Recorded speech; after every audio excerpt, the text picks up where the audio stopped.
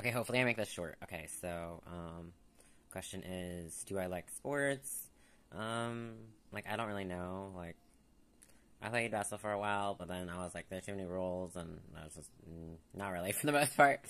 I was like, I don't, I don't really care about what's happening in football, and I never really picked a team and wasn't really interested. Um, like, I went to soccer games all the time, and like, I get like it takes a lot of effort, and like, I respect people who play sports, but like, I don't really care for them, and then I wasn't really able to like start out at a young age either to really get into it to really like try and be like, oh, you have like to see if you actually have a talent in the sport and then actually use it and get better at it and that crap.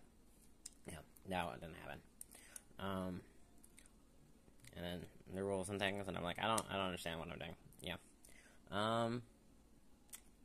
Yeah. I just never really got into it, and then even like watching sports just never interested me. Um, just doesn't seem interested. It's not something I really cared about. I was always like trying to read a book or something when I was at my sister's games. I just didn't find it that interesting. Um, okay, and then I like for the Olympics and things, like even then, like I won't go out of my way to watch any of it. I'm not really interested. Um, I did watch the, and even like sports anime. No, no, no, no, no. Thank you. Um, I don't care. It is not my thing.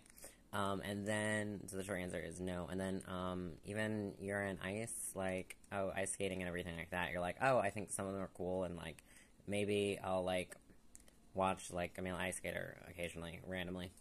But still, then I'll be like, oh, cool, that's nice. Moving on. Just doesn't, doesn't have my attention.